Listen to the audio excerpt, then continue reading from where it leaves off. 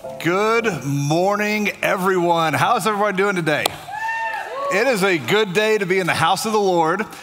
Some of you are like, oh, the youth guys up there.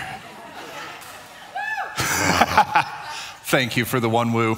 Okay, before we get into this, I just want to kind of recap um, a little things that we've been having going on.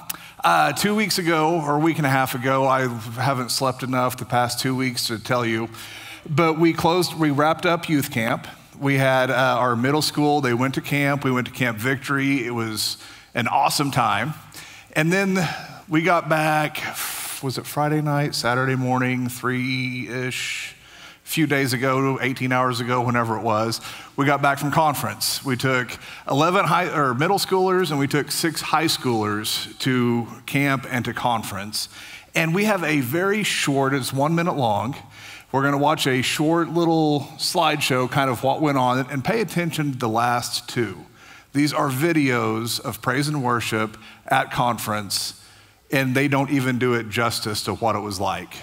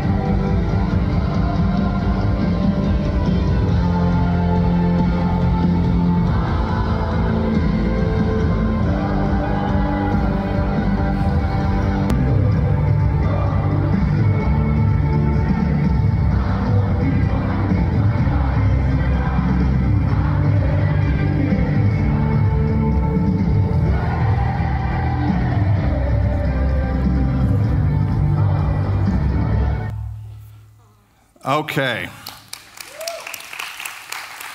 It was awesome.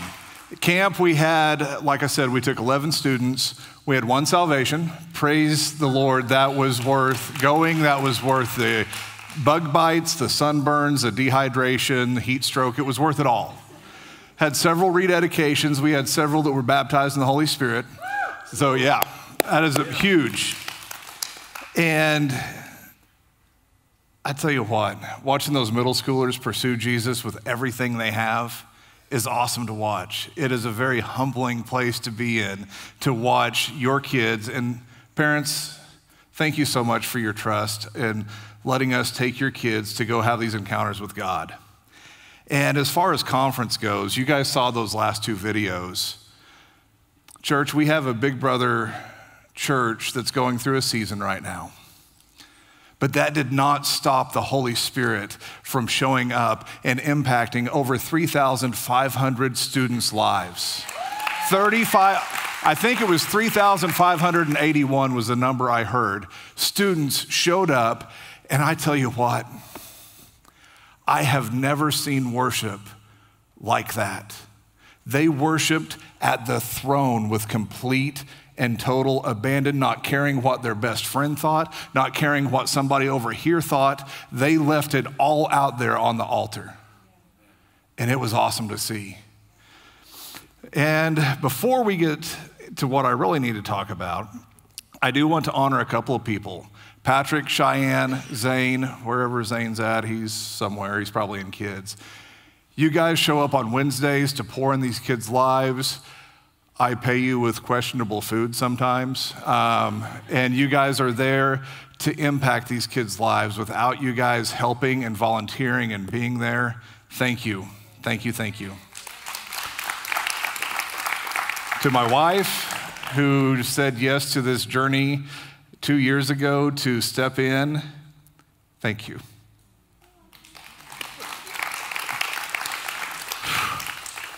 Been around PT too much. I can't keep it together at times.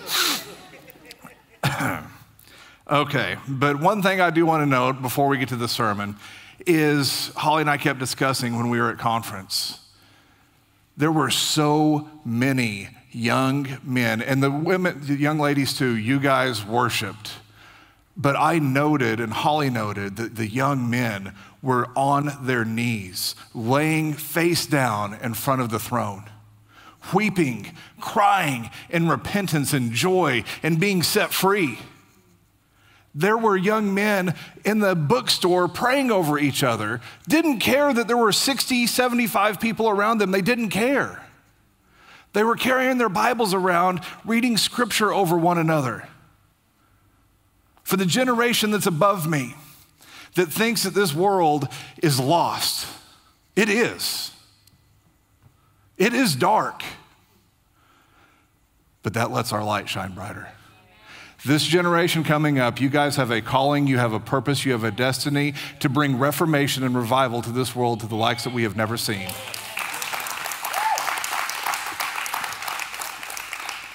Okay, now what I'm actually here for after that's over. As we just said, we wrapped up camp, we've wrapped up conference, we've wrapped up VBS, we've wrapped up revival with Brother Jimmy that was absolutely phenomenal. And kids are leaving Wednesday to go to camp. This June, did we get extra days in June? How did all this stuff fit? I'm exhausted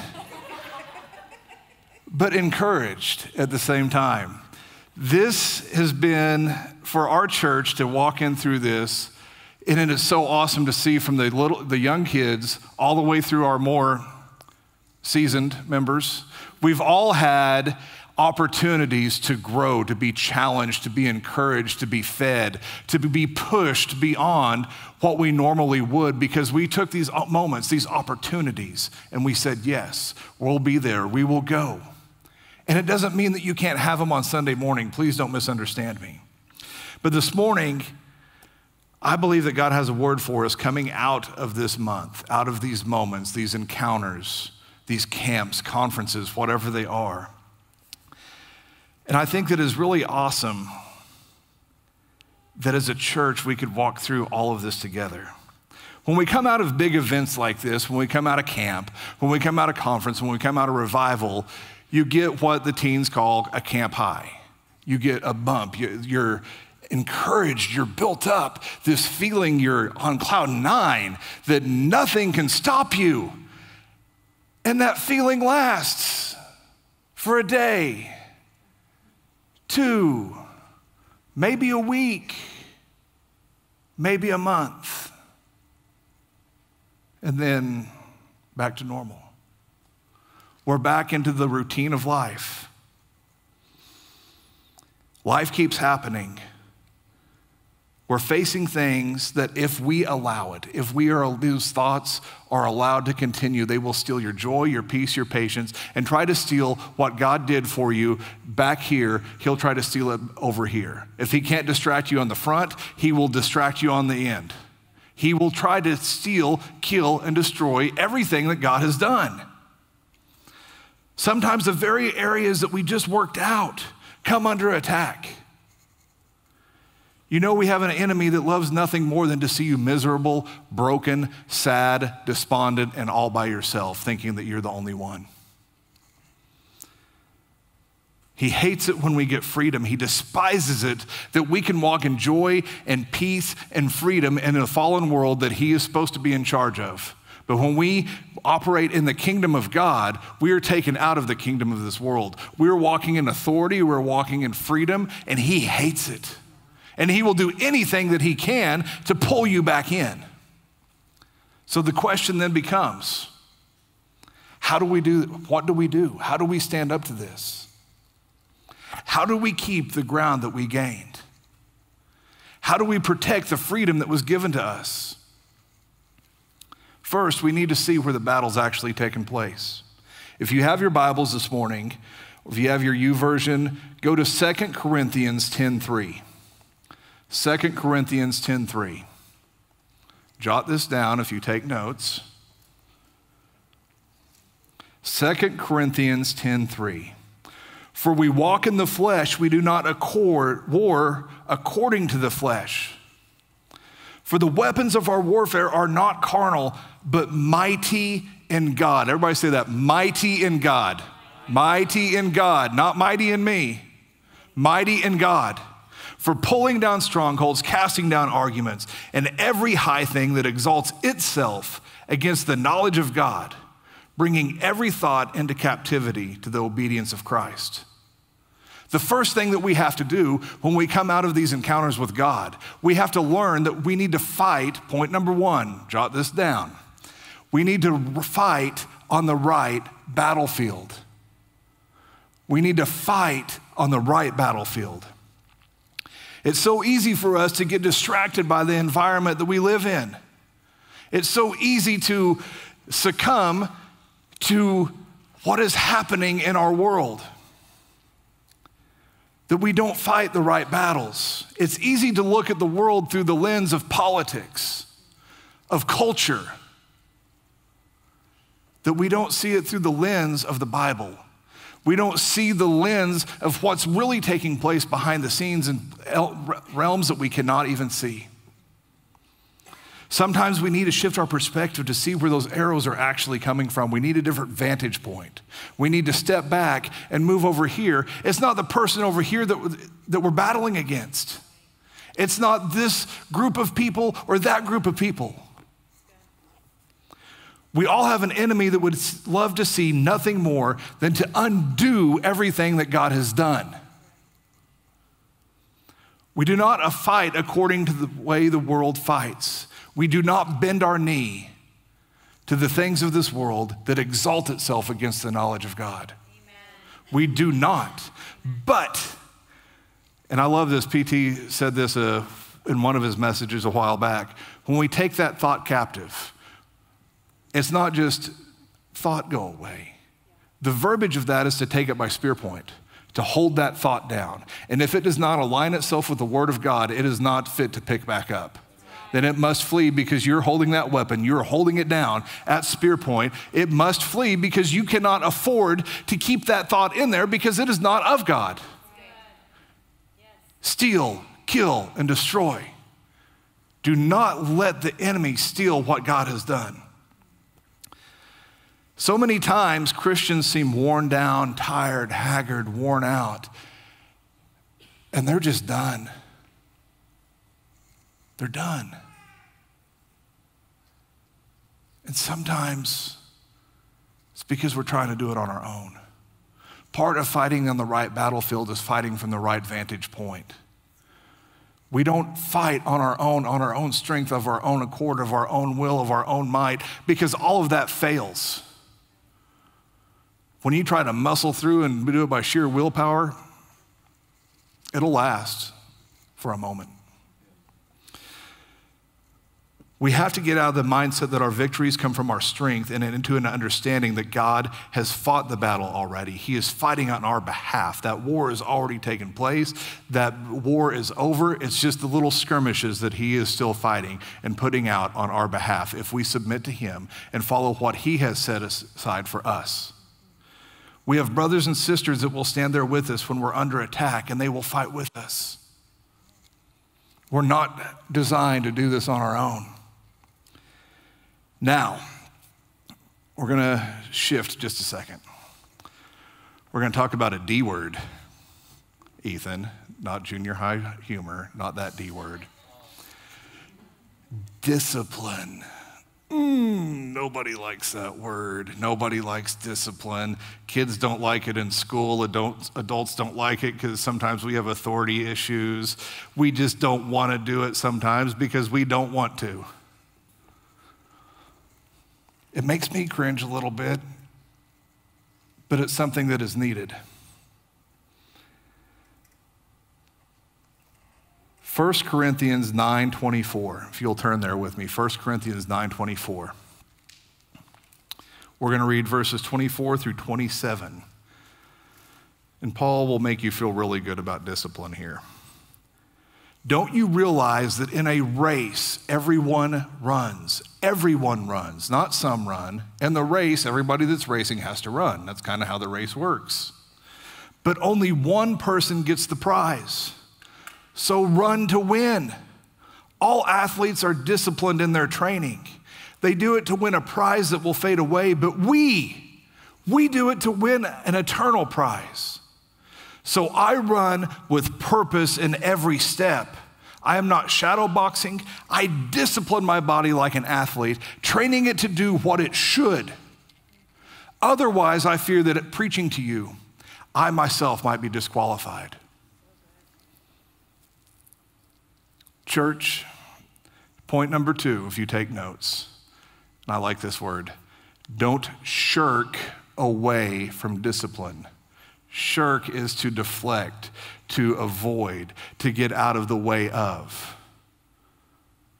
We all do that. It's our natural instinct. It's the sinful part of us, the human nature part of us. We don't want to be disciplined. We want to do what we want.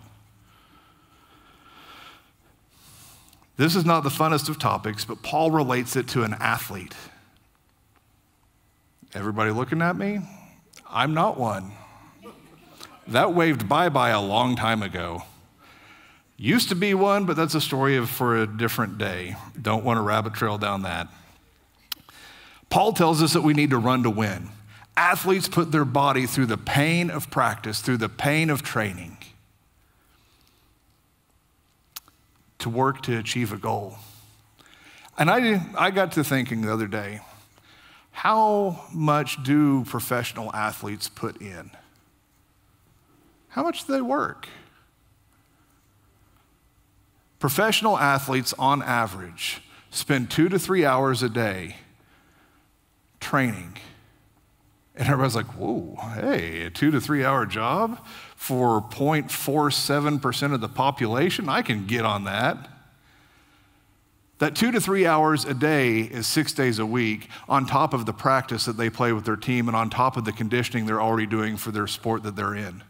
The two to three hours is what they put in behind the scenes that nobody sees. That's when they're in the gym with just one light on, shooting three after three after three. That's the quarterback throwing pass after pass after pass for accuracy.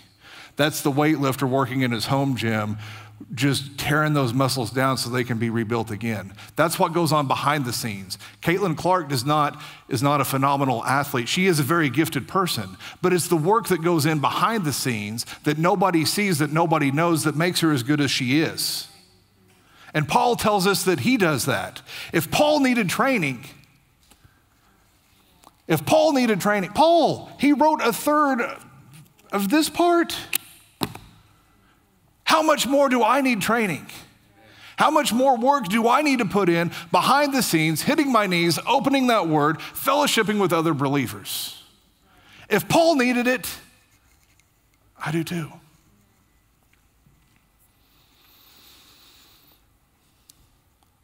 Grace and forgiveness are free. They are.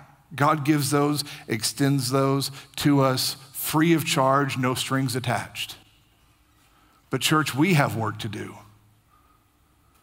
God can't read the Bible for you, to you, so you understand it. God doesn't use your, I don't want to, I don't know where that was going with that one. God intercedes for us, but He can't use our lips to pray for about a need. Oh, time and time again, it says, let your, be, let your needs be made known to God. We have work to do. We have a part in this. We have to partner with Him and allow Him to work through us for us for His good and His glory and His church, not just because we want something or need something, but because He wants to use you in your situation for His kingdom and His goodness. We have to stand guard against the wiles of the devil. We must not give up the ground that God has won for us. We cannot let the freedom that we experience be traded back for captivity and bondage. We often, I often read in Exodus, children of Israel, they're crying out because the taskmasters of Egypt are cruel. They work them hard, they work them to death, they beat them. Moses comes in, God delivers his people. They get into the wilderness for two days and, like, man, Egypt looks pretty good. I was worked like a dog, beaten like a rented mule, but I had garlic to put on my bread. How many of us whine and complain about the position that we're in, and we think that Egypt starts to look good rather than look, running towards the promised land and running through the pain? A high price was paid for each and every one of you. Should that not be shrugged, should that be shrugged off to go back to what I got set free from? No, run with purpose in every step. Paul says that he disciplines himself like an athlete. So, how do we discipline ourselves? Submitting to God, building our faith. There's really no dynamic recipe. How do we do these things? How do we submit to God? How do we build our faith? How do we draw closer? Prayer word, fellowship. Very simple, basic stuff that we seem to overlook because sometimes we want a hyper spiritualized answer that's going to do the work for us. You want to see things change? Bring them to God. You want to be encouraged? Read your Bible. I fail. There's people that failed worse than I did in my eyes, so I'm going to read that. I'm going to be built up because if God can use an imperfect person in the Old Testament, New Testament, He can do it in me. Amen. Once a week is not enough to read the Word. Faith comes by hearing, and hearing by the Word of God. We have got to get back to reading our Bible, whether physical, YouVersion, whatever it is. Pick up the Word and get in it. We need others to encourage us. Hebrews 10:25 says, "Do not forsake the uh, gathering of the assembly." We need others, whether we're a people person or we're antisocial, whether we're neurodivergent, whatever it is. We need people in our lives to encourage us, build us up, pray for us, and help us along the race that we are in. And we need to be that for somebody else. It's not just about us; it's about everybody sitting in this room. Grab somebody's hand and drag them along the finish line with you. We are not to be sniper Christians. We cannot afford to go it alone.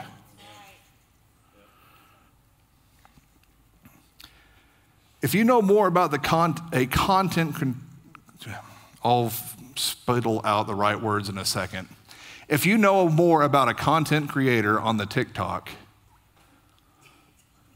yeah, the, the TikTok, I'm old and I can use that. If you know more about a content creator than you know about the gospel, you have a problem.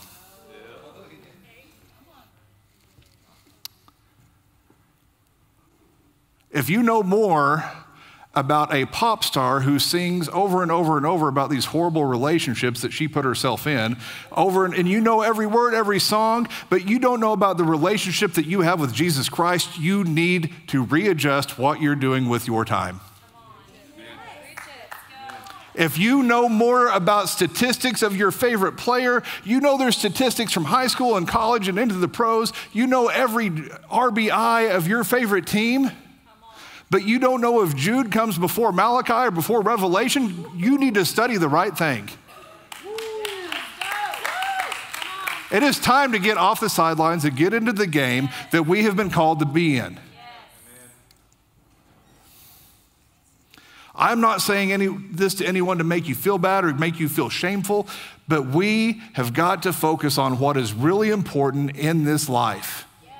This life is but a breath, yes. and we only know one date of it when we were born. There are people out there that only you can reach. Oh, I'm getting ahead of myself. We cannot afford to be slumbering, to be sleepy, to be lazy. There is a lost and hellbound world out there that need you. Only you can reach those that only you can reach. I don't know the friends that you have. I don't know the people that you associate with. Only you can reach the people that you know. I can't plant the seeds for you. Pastor Terry can't plant the seeds for you. A farmer doesn't go to a random field and sow seed in it. He goes to his field to produce the crop that he needs, that it will multiply and grow. Only you can plant the seeds that you can plant. Only you can encourage those that you can encourage because I don't know everybody that Larry knows. Larry can go out and have an impact on 20 people that I don't even know their name.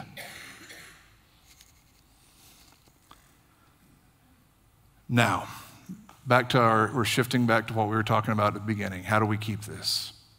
I have a story for you, and it's about two animals. And it's real, it's true. I saw it on the Facebooks. Thanks, Catherine, by the way, for sharing it. And in these, this story, it's about two animals. The first one, how many of y'all own cows? Has anybody owned cows or you have owned cows in the past? Okay, there's a, hand, there's a couple, there's a couple. I have a few. And anybody that's been around these animals, I've been around them my entire life, they're not very bright. They are not intelligent. I mean, they know they, they need water, they need food, they need sleep. That's the extent of the knowledge that's in there. And they will test your flesh like no other creature. When a storm is coming, when a storm is rolling in, I don't know how they sense it because, again, not very sharp. When a storm comes in, and you see this more in open range scenarios or giant fields, cows run. They're trying to get away from the storm, they're trying to get away from what is coming. And sometimes the cow will run itself to death. And if they don't die, they are in the storm longer than they could have been if they wouldn't have started running around all over the place. They run backwards, forwards, to and fro, away from the storm, back into the storm, through the storm, sideways, in every which direction. Now you look at the American bison the buffalo. When they sense a storm is coming, they don't act like the lowly, derpy cow. They herd up and they charge head on into that storm. Because instinctively, somehow, in that oversized head of theirs, it's gigantic, in that brain of theirs, God put some type of survival instinct inside of them to run into the storm because if they run into the storm, they're going to reduce their exposure. They're going to reduce the amount of pain that is inflicted by running through it. Because if they get through it quicker, they have a better survival rate. They know if they get through that storm. Now, I have a question for you guys Do you want to be a cow?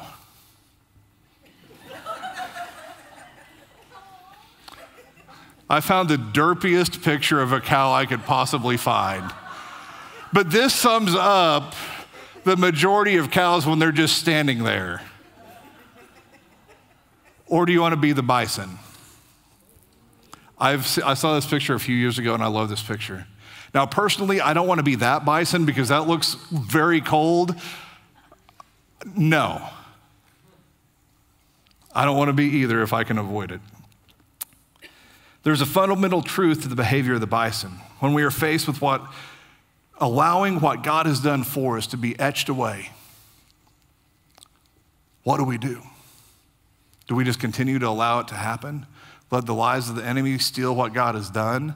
Our choices and decisions to be influenced by those things? Or do we stand and fight and run through that storm? Don't give up a single toehold to the enemy. Stand and fight. The sooner we put on the armor of God and use the weapons that He gave us prayer, His word, fellow believers to partner with, and taking thoughts captive the sooner we'll come out of the other side of it. Charge head on into what you are facing. Don't shirk away from it. Don't try to shuffle it off. Stand and fight. Stand and fight.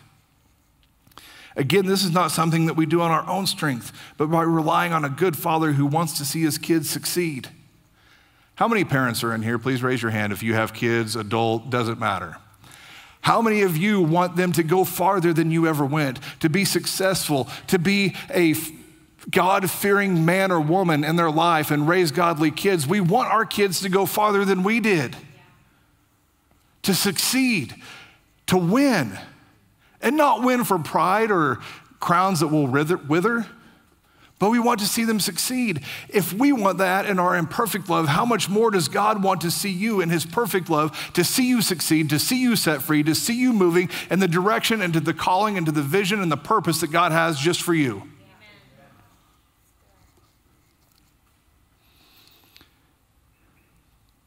In Isaiah 50, we see some messianic prophecies about Jesus hundreds of years before Jesus came. Isaiah started writing things down that God spoke to him. Some of these were about what he would face, and this is one of those. But this scripture has always stuck out to me. Isaiah 50, verse 7. Therefore, I have set my face like flint, and I know I will not be put to shame. Point number three is set your face like flint. Well, how does that apply to me? This was talking about Jesus. He was our perfect example, the one we should imitate and strive after. If he had to set his face like flint, the Christ, the Messiah, if he had to set his face like flint and walk in determination, the path that's set before him, don't you think I need to do the same? As we begin to close this morning, here in just a moment, I'm going to ask each of you to be honest with yourself, honest with where you're at. Ask the Holy Spirit to search your heart. Is there ground that you have given up? Are there things that you've been set free from that you're starting to flirt with again? Pick it back up just a little bit.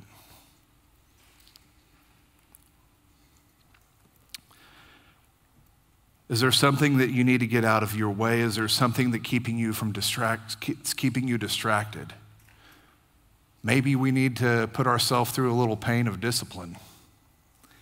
Are we too caught up in the different lenses of the world to, to see that all the societal and cultural issues going on in our world are a spiritual issue at their heart?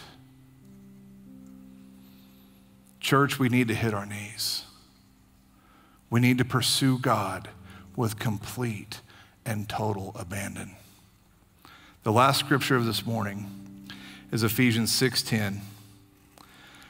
Finally, my brethren, be strong in the Lord and the power of his might.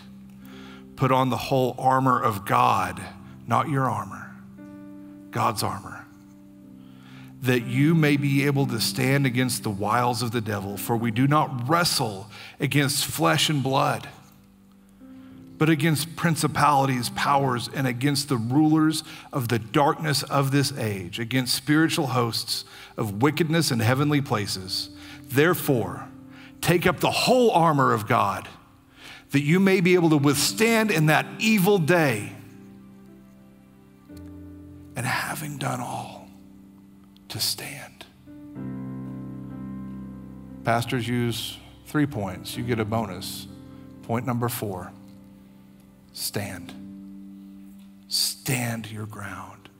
Stand where God has planted you. Stand in the freedom that He has given you. Stand in the blessings and the abundance that He has bestowed upon you. And do not let that be taken.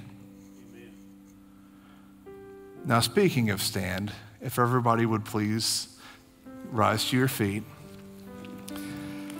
Church, we don't fight against flesh and blood, political parties, pop culture. We don't. Those are symptoms of a spiritual issue. Political party is not going to save us. Jesus Christ did that 2,000 years ago. That does not mean that we don't boldly proclaim the truth of God, show the love of God, show the truth of His Word. We still stand. We stand firm. We will not compromise what this book says. But we have to proclaim liberty to the captives. Like John the Baptist, John the Baptist realized, I must decrease so Jesus can increase. If John, cousins with Jesus, baptized Jesus, if John had to decrease, how much more of me do I need to get out of the way? We have a real enemy that we need to fight against. We have an enemy that wants to see you broken, miserable, and lonely. We have, fight, we have got to fight the right battles, walk in discipline, and set our faces like flint. And having done all that, at the end of me, at the end of where I am, is where God begins. And I can stand in that. As you stand here this morning, the praise team is going to lead us in one last song. And as I said a bit ago, take this moment, be honest with yourself. Pray a bold prayer God, search my heart.